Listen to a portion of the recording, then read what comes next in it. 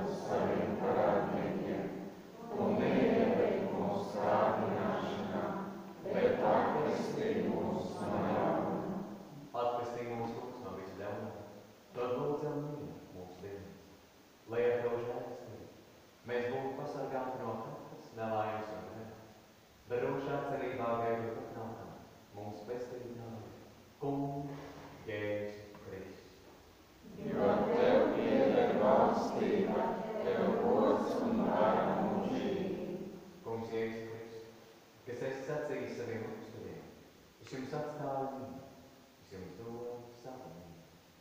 Raugies nevis uz mūsu grēkiem, bet uz savas baznīcas ticību un stiprini visā kristīgo saimē savu mīlu un vienu.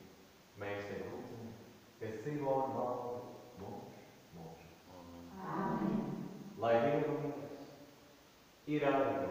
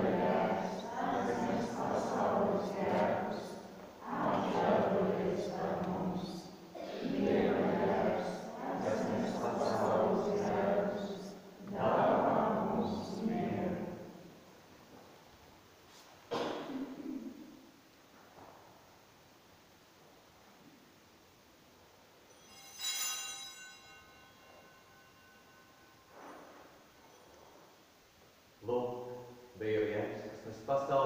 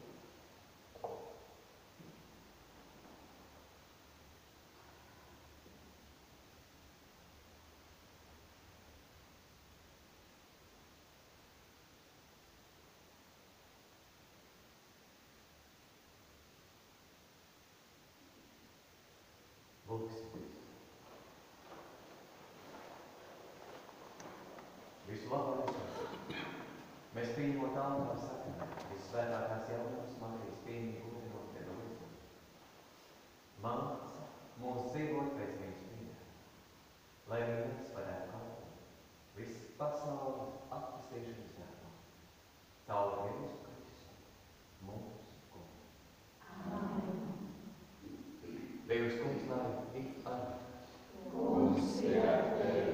lai jūs sveitī un sargā Tyler?